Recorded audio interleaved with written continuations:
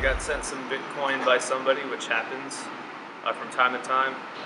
And uh, since I'm not 100% certain about the future of Bitcoin anymore, because of the block size debate, obviously put a little bit of it into other currencies I believe in, but I'm going to send some to my gold vault here on uh, here on BitGold. So this is the this is the Coinbase wallet app. I'm sure a lot of you guys have that.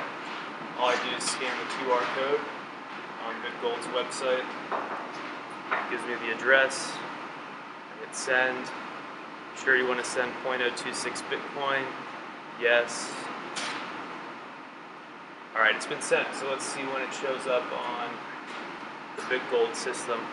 And uh, while it's processing this, here it already went through, so you can focus on that. It shows that it's now deposited in their Brinks Insured Vault Dubai, United Arab Emirates. And uh, one thing to keep in mind if you're depositing with Bitcoin, you can only uh, deposit to the Dubai Vault right now for regulation reasons. And if you want to redeem that gold, you can have the gold in your Dubai Vault sent to your physical address, or you can have that money uh, overnighted to you via ACH to your linked bank account. The one thing you cannot do right now is withdraw those funds using Bitcoin. So once you deposit with Bitcoin, if you want to get your money out later, you can have uh, gold sent to you, physical gold, or you can have it wired overnight to your bank account. Uh, just something to keep in mind. Thanks for watching.